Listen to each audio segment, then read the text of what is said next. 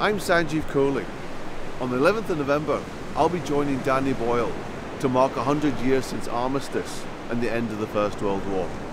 Join thousands of others on beaches around the UK and Ireland as they say a personal goodbye to the millions of men and women who left their shores 100 years ago.